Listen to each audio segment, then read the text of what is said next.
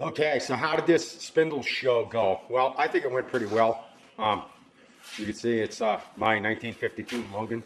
Uh, and I wanted to take video of the whole process, ladies and gents, but I will, uh, I guess I'll make a drawing to show guys uh, how the parts go into this headstock, what the, uh, you know, one, two, three of it is from end to end on the uh, spindle. Um, which, back when I first made this spindle video, one, two, seven, five years ago, whatever it was, I, I wasn't quite sure. However, yeah, uh, a lot of time has passed and water under the bridge and figuring out what's going on. So um, for you guys, if you've not watched uh, any of the videos, um, you'll know that I was, uh, yeah, I, I, I, think I threw it out. What did I do with it? Um, yeah. Anyway, the old belt was on there. It was one of these. And, uh, and I had been sewing it together with 80 pound fishing wire for the last six, seven years now since I got this machine. And a couple of few years ago, I bought this spindle. And if you've watched the beginning of the movie, you saw I, I did find one of these spindles with a new process bearing, uh, new departure um, uh, bearing, spindle bearing. And I, of course, had to rip the seal out of the back. And I took some photos of this, and I was able to tap that seal back in after cleaning it in alcohol and getting out. And the, the 1952 grease, or approximately thereof, was certainly gone, junk. And so we put this back together, and I now have a this is a proprietary Logan taper in here. So if you are going to do anything with one of these spindles, uh, you need to make or buy, and, and, I believe Scott Logan over there still um, sells these out there quite pricey. So if you guys are looking for, uh, you know, projects to do for your machine, uh, this one here, I, I made this little, uh, you know, pull the uh, belt tension pusher upper uh, and, and, and all kinds of stuff. And I did make, uh, you know, one of the tailstock red lead, white lead daubers, and I believe I knocked it out when pulling a rag off the off the tailstock and vacuumed it up and threw it in the dumpster. Uh, but if you're looking for projects, I mean, you know, just make something. You know, go in a scrap box, take a bolt and make it into something. You know what I mean? I don't know. Anyway, all done here. Got everything all back together. Um, made new uh, tailstock hold down because that was broken. And I probably should have nailed my name in the bottom of this for some guy in the future, whoever ends up with this machine. Uh, but that is a Mitutoyo 10th indicator.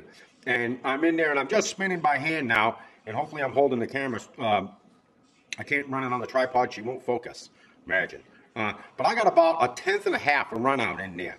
And of course, you've got to be careful if you run a, a tenth indicator because that, that, that hole is tapered. Uh, and, you know, like if I pull out, um, it, it, it, it's it's many thousandths, um, you know, over a half an inch or so, you know. So, but my my run out is nearing the same. I cleaned that hole with alcohol, and because it is a tenth indicator, any any imperfections in that hole at all um, are going to bounce that needle. So just a little squirt of like penetrating oil uh, gives it uh, gives that finger enough um, surface tension to just stick in the hole there good. And so she follows the um, follows nicely. Uh, right now I, I, probably got it uh, unloaded.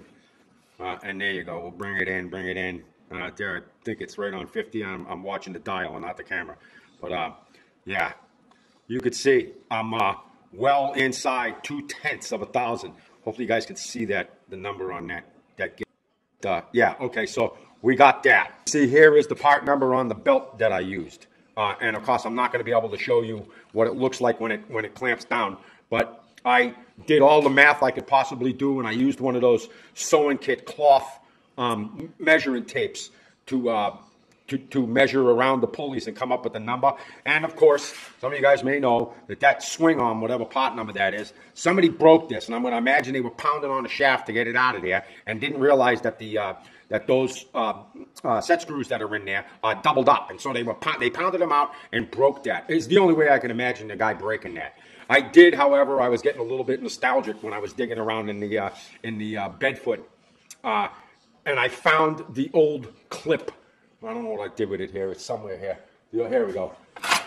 There we go. Um, the old clip. Uh, and you can see she's pretty, pretty chewy.